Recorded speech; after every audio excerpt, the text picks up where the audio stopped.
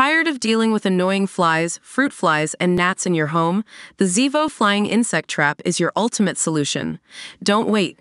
Check out the link in the video description now to get your Zevo Flying Insect Trap on Amazon and enjoy a bug-free home today. Welcome back to Drama Meter.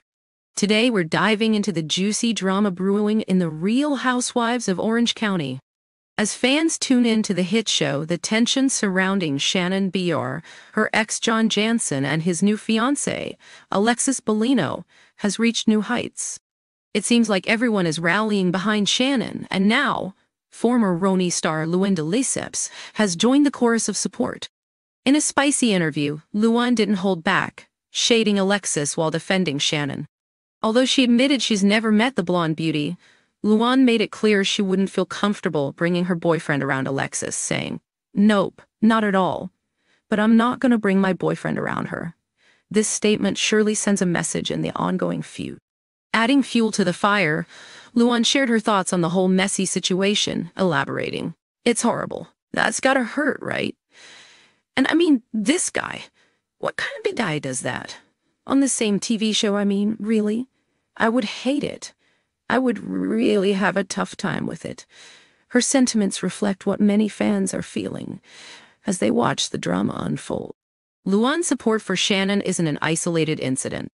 In fact, Erika Jayne from The Real Housewives of Beverly Hills recently chimed in, urging Alexis and John to leave Shannon alone. It's clear that the Housewives community is circling the wagons around Shannon during this tumultuous time. In addition to her loyalty to Shannon, Luann is also gearing up for her new reality dating series, tentatively titled Love Hotel, scheduled to premiere on Peacock in 2025. She'll be joined by Shannon and fellow housewives Gizelle Bryant and Ashley Darby, both from the Real Housewives of Potomac. Even though Luann admits she doesn't know them well, she expressed her excitement, saying, I'm super excited about this, and it's just the four of us and I don't know how many guys they're bringing around. No idea. So get ready for more drama as the Real Housewives of Orange County continues to leave us on the edge of our seats. Who are you supporting in this unfolding saga? Let us know in the comments. And don't forget to tune in every Thursday at 9 8 C on Bravo for all the latest Housewives drama.